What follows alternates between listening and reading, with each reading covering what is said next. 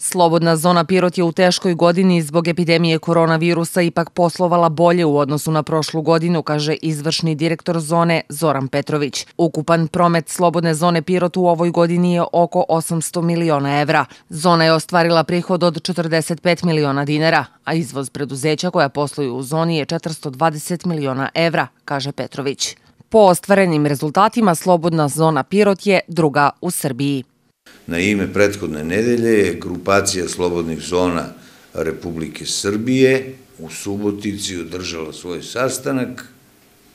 E, zaključili smo da smo po stvaranim rezultatima drugi, da je prva zona Subotica, ali je dosta važan podatak da je ukupan promet iz slobodnih zona negde oko 4,5 milijarde eura, što predstavlja 15% ovaj, prihoda Republike Srbije.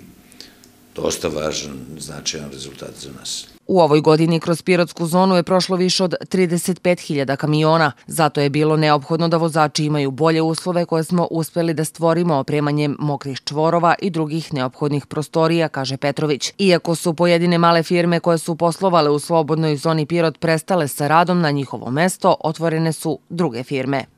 Pripremaju se investitori da, da naprave novi, novi investicioni ciklus u Srbiji.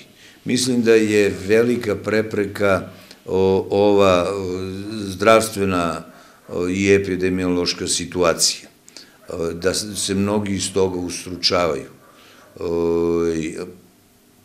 Zahteva ima, odgovaramo na zahteve, čak i neke firme koje već funkcionišu ovaj, pročitao sam da je i gradonačelnik Vasić jutro to najavio, ovaj, firme koje sarađuju sa Benetonom žele da dođu u zonu i to ćemo da razgovaramo u toku januara meseca. Petrović ističe da mali broj zona u Srbiji nije u potpunom vlasništvu lokalnih samouprava. U ovom trenutku grad Pirot ima 20% učešća u kapitalu, Tigar AD 61%, dok u ostalom akcijskom kapitalu učestvuju Progres Pirot, eksplozivni Rudex, Unimetal i slobodna zona Pirot sa 5,84%. Veći udeo lokalne samouprave doprineće njenom proširenju i stvaranju bolje poslovne klime, ocenio je Petrović.